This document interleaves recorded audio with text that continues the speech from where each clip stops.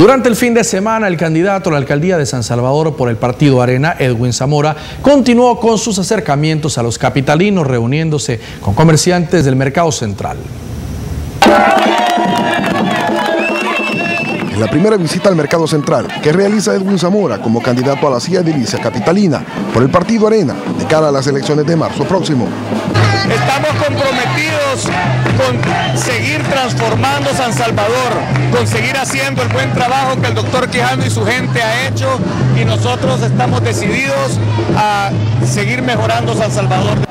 El aspirante escuchó de los comerciantes las principales necesidades, entre ellas la seguridad, iluminación, mantenimiento del mercado y mejorar los espacios de atención. El aspirante a la alcaldía capitalina por el partido Arena, Edwin Zamora, se reunió con el candidato a diputado por San Salvador, Johnny Wright Sol, quienes se hicieron acompañar de jóvenes en el Parque Bicentenario para escuchar sus necesidades. La mayoría de estas se centran en más oportunidades para seguir estudiando, así también la oportunidad de tener un primer empleo. Quisiéramos escuchar lo que ellos nos pueden decir de qué es lo que desean para, como nuestra función en la alcaldía.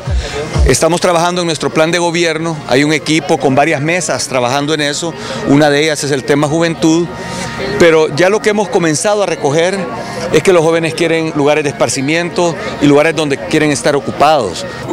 Zamora indicó que este tipo de actividades sirven para recoger insumos que luego serán incluidos en su plataforma municipal, que presentará a los capitalinos antes de los comicios del 1 de de 2015. Mario Zelaya para Tele 2.